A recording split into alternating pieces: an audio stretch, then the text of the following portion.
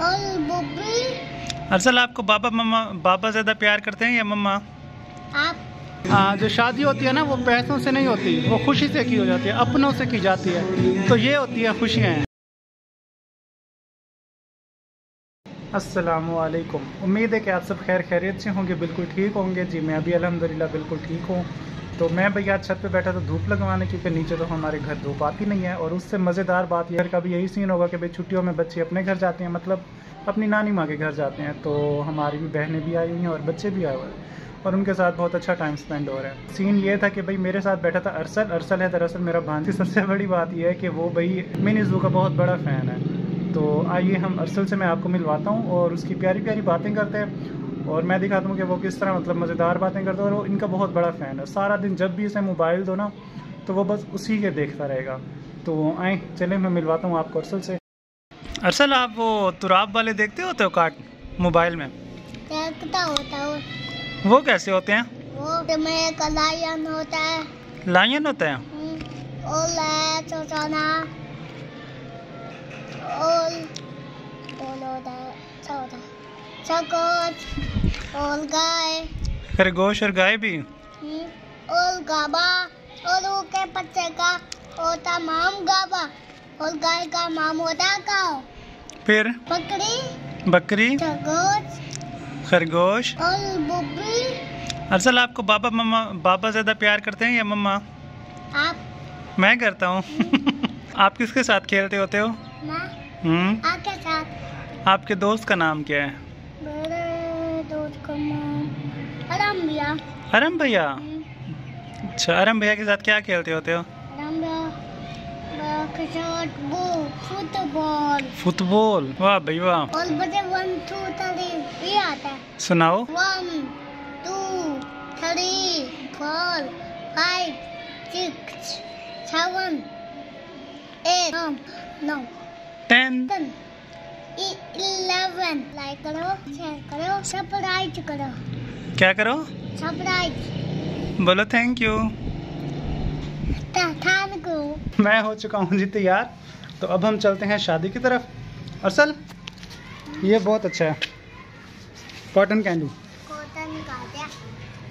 Thank you आप लेके आए थे? हाँ। अच्छा है अरसल को भी आपने दिलाया है। ओके ये देखो। इतने पैसे? कहाँ से आए? चाचू ने दिया। कौन से चाचू ने? जो कॉटन कैंडी वाले। हैं। हाँ। हाँ। तो भाई साहब हम यहाँ पे आए थे कज़न की शादी पे। सब लोग तो चले गए हैं। मतलब आप देख रहे हैं लेकिन अभी मेरा यहाँ पे जो कज़न है ना, वो लगा हुआ है अभी तक। उसे पता नहीं इतनी क्यों खुशी है, इतनी क्यों खुशी है, वो देखें अब। ये देखें, ये अकेला बंदा है इस वक्त, लेकिन ये बंदा लगा हुआ है। म्यूज़िक लगा के।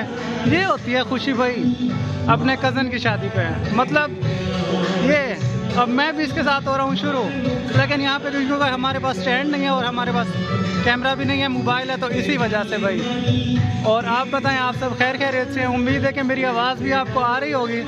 बाकी भाई, खुशी चेक करें लड़के की, क्योंकि वो इसका कज़न है, मेरा भी कज़न है, खुशी तो मुझे भी है। पर मैंने कहा, भाई, ये सीन मैं आपको दिखा दूँ। हमारे यहाँ ये सीन बड़ा ही मतलब आ, देखा जाता है कि भाई अपनों की कहते हैं ना मैंने एक वो ब्लॉग में सुना था कि भाई आ, जो शादी होती है ना वो पैसों से नहीं होती वो खुशी से की हो जाती है अपनों से की जाती है। तो ये होती है खुशियाँ।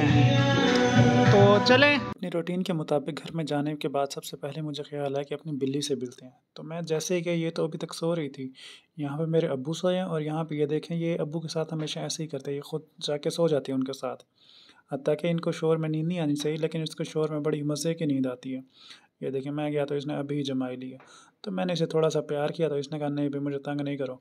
उसके बाद मैं ले गया बच्चों को बाहर, क्योंकि बाहर झूले वाले आए थे तो कभी मैं आपको झूले भी दिखाऊँगा। तो उसके बाद मुझे था बैंक में काम। मैं आ गया बैंक में और मैंने यहाँ पे आके करनी थी ट्रांजैक्शन। तो उसके बाद मैंने की ट्रांजैक्शन और फिर मेरे दिल में ख्याल आया कि यार, इंशाल्लाह एक दिन ऐसा भी आएगा जब मेरा यूट्यूब का काम चलेगा ना।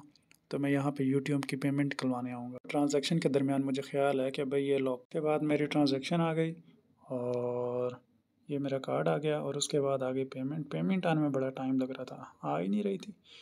चलें खैर, ये पेमेंट आ गई और उसके बाद मैं आ गया घर। अच्छा भाई तो मैं आ चुका था बैंक से वापस और मुझे काफ़ी टाइम भी हो गया था तो अभी मैं आया तो मैंने कहा ब्लॉग को करते हैं एंड उम्मीद है कि आपको आज का ब्लॉग पसंद आया होगा। अगर आपको पसंद आया तो लाइक करें।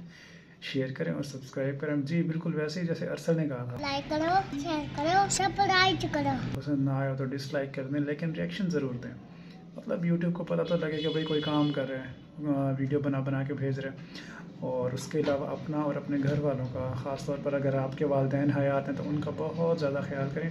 कोशिश करें उनके साथ टाइम स्पेंड करें। मतलब जितना ज़्यादा हो सकता है उनके साथ बैठें। सिर्फ़ आपका बैठना ही बहुत है ये नहीं बैठें और मोबाइल इस्तेमाल करें नहीं उनके साथ बातें करें।